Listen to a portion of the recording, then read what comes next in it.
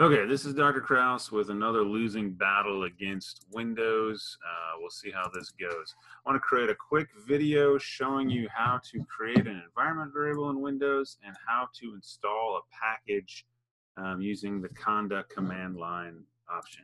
So first of all, I don't know how you do this in Windows 7. I assume it's similar, but I'm going to search for edit environment variables if I can type correctly. I can't type correctly. So the auto completion was actually correct. Um, I want to go here and I want to add a new environment variable. It's very important that it's called Python path. That should be all one word, no spaces, and it should probably be all caps, although I don't know if that matters for sure.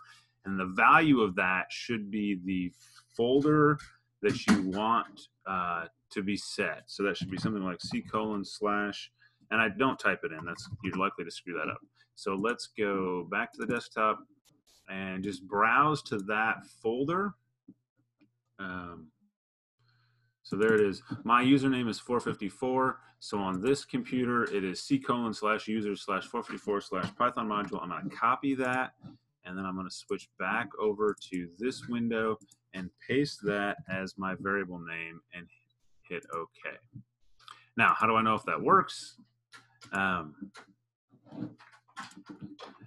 that works if I can launch IPython and see that folder in my system path.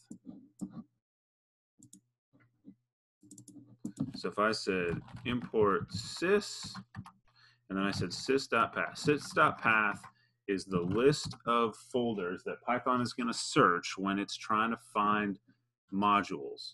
So you'll see this like third one down. Let's talk through this just a second. Um, secretly stop doing that. Um, turn on the quick edit mode. Um, so the first option is always uh, nothing, which means the current folder that you're working in. And then there's this C colon Anaconda scripts, which is something they install. And now the third option down should be my folder that I just added. Now, if I wanted to add more than one folder, they just need to be in that same environment variable, the Python path environment, separated by semicolons. And so if you see this in your list, then you've correctly put Python modules in your system path. Now, if I said import serial underscore utils, which is in that folder, that should work because it's looking in the correct place, except that we have not yet installed the serial module. So that's what we're going to do in Anaconda. So now I need to come over here and launch PowerShell. And I need to type conda install PySerial. Now this is the second time I'm running this because I had to make multiple versions of this video. So yours is going to have a list of other stuff. It's going to want to update Anaconda and do some other things. Just hit enter to accept the defaults, which is going to be to install it. Yours will take a you know 30 seconds to a couple minutes to update everything that it's trying to update.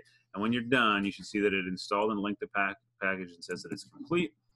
We know that that worked if we flip over to um, the IPython window and type import series, and now it doesn't complain. And if you ever want to know where did I get that from, you type reload after you've imported it and put parentheses around it, it'll tell you where it came from. And so it imported the PySerial or serial utils module from here.